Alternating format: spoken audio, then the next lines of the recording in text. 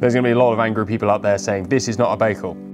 We've discussed in the past everything from Russia that is a gun is a Baikal. Baikal, Baikal, Baikal. All Russian guns, it's a Baikal. Russian Baikal. much Baikal. All Baikal. So being not a Baikal means that it is a Tulsky Orozheny Zavod, or TOZ. TOZ is easier to pronounce. This is a TOZ Model 34E, the creme de la creme of Russian gun making.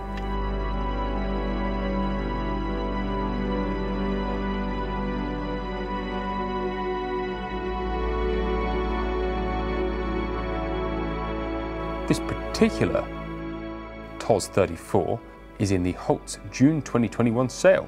It's lot 1650 and it's estimate 800 to 1200 pounds. Let's have a look over it. Well, we can start at the back. Have what appears to be a plastic butt plate that is still lovingly engraved. The game scene in Acanthus. The stock is not made of any wood that is particularly gorgeous. Highly figured wood rarely features in Russian guns, unsurprisingly. But to embellish and enhance the wood, because to be fair, you do kind of want it to be practical, and this gun is still extremely practical. They've got inlaid wire, mother of pearl flowers, and a mother of pearl duck or goose flying through the wire. I think I might actually like wire work in a stock.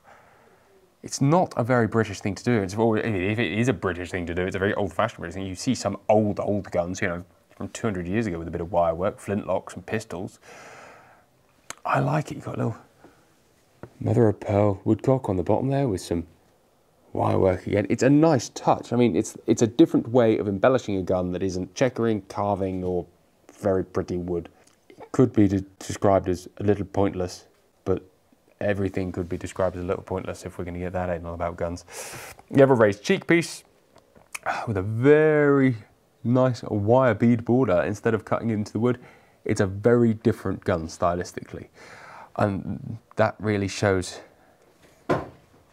with the grip carving. That is some skill, right? That is a serious skill. That is a skill beyond checkering, for sure. That is, is beautiful. Wirework mother of pearl drop point. The action is black with silver inlay and silver wash on certain areas.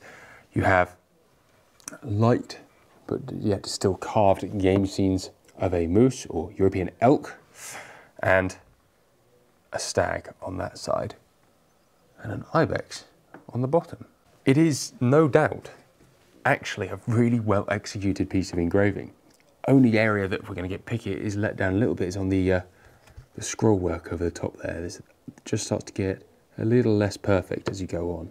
But that's only the only area of this gun that actually engraving wise it's not it's not even let down, it's just nice.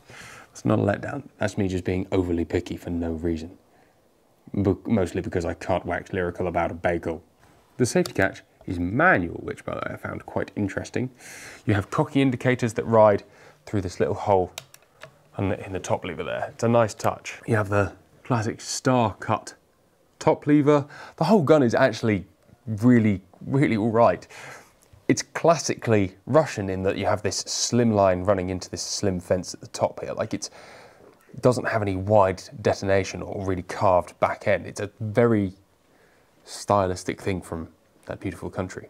Of course, it would not be what it is without a little CCCP mark engraved lovingly on top of a, well, there, right there. The foreend's a bit of a spanker too. Again, wire work, mother of pearl, little silver inlays, carved floral on acanthus motif. It's, it's a really interesting mix of practicality and being utterly ornate because the I'm sure they could have engraved that with a finer, but it is all big enough and strong enough that you're not going to damage it by actually using this gun. You have slight carving here with silver wire work inlaid into the breech end. And a slight ramp, again, hand stippled up from the face onto the rib. The rib has a mid-bead, vented top and solid mid. Fit-wise, it's actually got a little bit of height in the comb, not, not enough, but enough to um, more than most things from there. And one of the coolest things about it is the way to take it apart. Flick the safety off. Pull the front trigger. Push the top lever over. And she comes apart. How cool is that? Browning thought that a two-piece gun was more intelligent than a three-piece gun. I've got to admit, there's, there's a lot of appeal to a two-piece gun. There's a lot of appeal. The way it comes apart is definitely unique. I, um, I like it. It's cool. It's definitely cool. Putting it back together is a little bit more of a pig. You have these half moons and their irrelevant inserts that you need to clip together thus.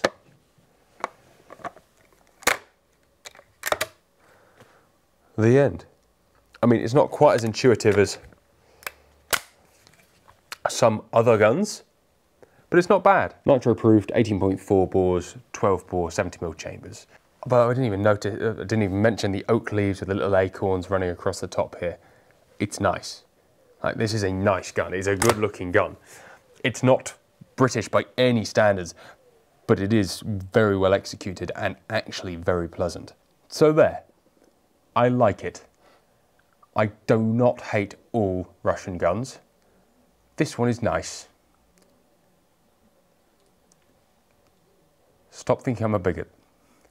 I love this Baikal.